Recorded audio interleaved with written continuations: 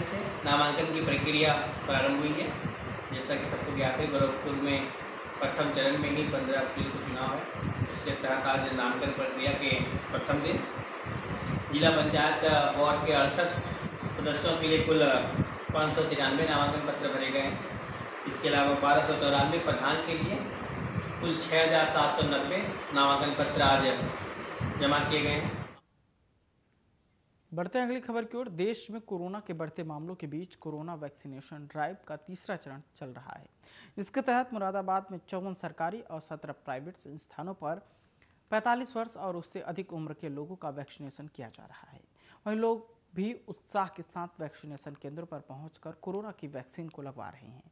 इसी के साथ ही आपको बताते चले कि डीएम राकेश कुमार का कहना है कि ज़िले में कोरोना के प्रसार को रोकने के लिए लोगों से कोरोना के प्रोटोकॉल का पालन कराया जा रहा है। सर्विलांस टीम घर घर जाकर सर्वेक्षण कर रही है और जिन लोगों में कोरोना के लक्षण पाए जा रहे हैं, उनकी टेस्टिंग की जा रही है।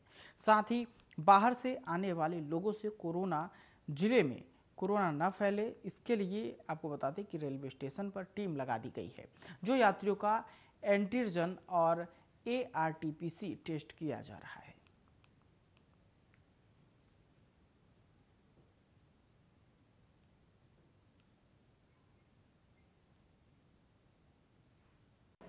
देखिए, चौवन जो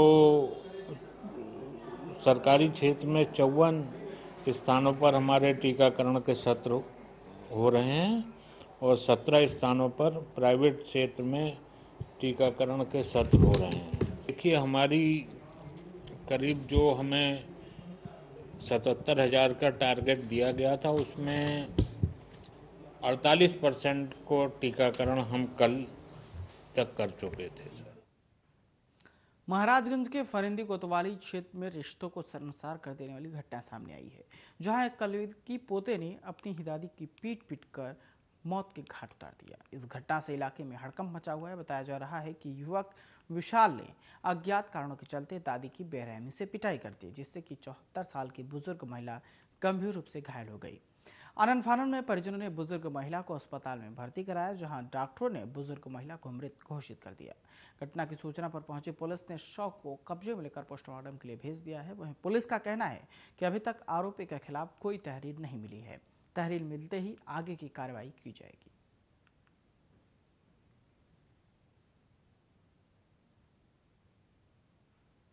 बुलंदशहर में एक सौ पैंसठ बोतल शराब के साथ आईटीबीपी का जवान गिरफ़्तार किया गया है। छत्तीस बटालियन आईटीबीपी लोहा घाट उत्तराखंड में नियुक्त है। जवान शराब तस्कर आईटीबीपी जवान के कब्जे से कार और एक सौ पैंसठ शराब की बोतल भी बरामद की गई है। बरामद शराब की बोतलें दिल्ली डिफेंस सर्विसेज़ में बिक्री के लिए मान्य। पंचायत चुनाव के मद्देनजर आईटीबीपी का जवान दिल्ली से तस्करी कर लाया था शराब की खेप।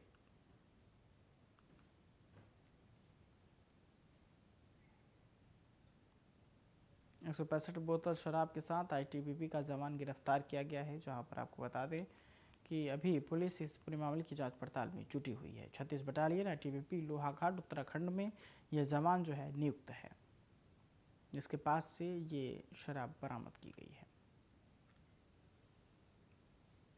जांजगीर चांपा के कसडोल थाना क्षेत्र में चोरों ने चोरी की घटना को अंजाम दिया है, जहाँ चोरों ने घर में रहे, रखे लाखों के सोने चांदी के जवरात पार कर दिए। पीड़ित परिवार ने मामले की सूचना पुलिस को दी। मौके पर पहुँची पुलिस ने घटनास्थल का जायजा लिया और मामले की जाँच शुरू कर दी। जाँच के दौरान पुलिस ने आपको बता दें कि चोरी करने वाले आरोपियों को दबोच लिया।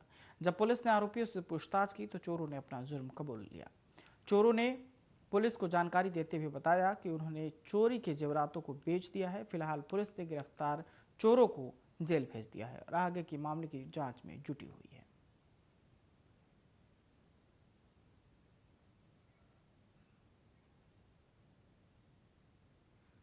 इस वक्त की खबरों में फ़िलहाल इतना ही। देश दुनिया की तमाम खबरों के लिए देखते रहिए आर